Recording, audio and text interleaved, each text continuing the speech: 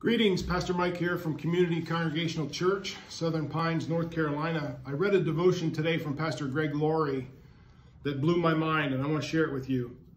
Um, Greg Laurie wrote that most American homes today have a Bible, but ironically, fewer than half of American adults can name the four Gospels. In a survey about Americans' knowledge of the Bible, most participants could name all four Beatles, but they couldn't name one of the Ten Commandments. Come on, you got to be able to name. I, I can understand not being able to name all 10, but you know, you should get at least four or five of the commandments uh, in a quiz like that. It gets worse than that.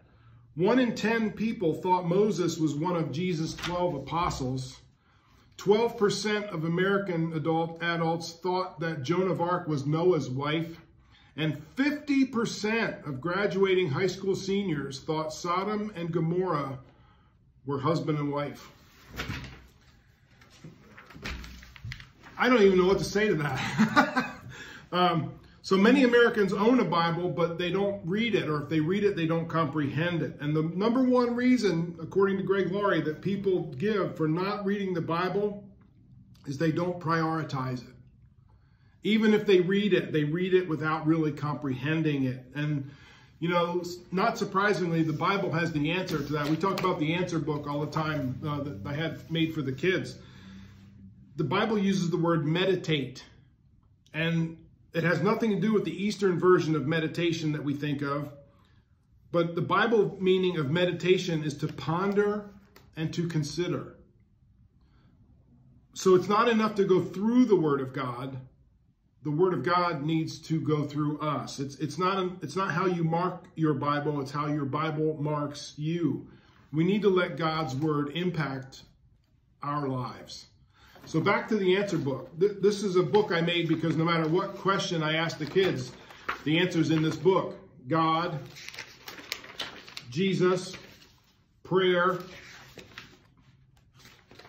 faith, Holy Spirit, the Bible itself should be one of the answers. But at the end, there's a prayer, and it relates to this devotion from Greg Laurie. It says, Dear God, thank you for giving us an answer book, the Bible. Help us to remember to use it. So God's given us the answers already. Uh, but apparently most of us don't understand that. So um, I realize I'm probably preaching to the choir here, but we need to be aware that this is how people take this. And I want to read that last paragraph again from Greg Laurie. It isn't enough to go through the Word of God. The Word of God needs to go through you.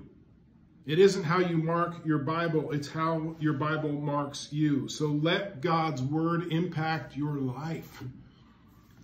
Thanks be to God for that. Let's say a quick prayer. Gracious God, help us to do just that. Help us to not just go through your Word, but help your Word to go through us, to mark us, to to change us, to mold us into who you want us to be. Thank you for giving us the answer book. Help us to remember to use it, to pull it out and use it. We give you thanks in Jesus' precious name. Amen. Stay safe, everybody. Stay healthy. Be kind. Love you.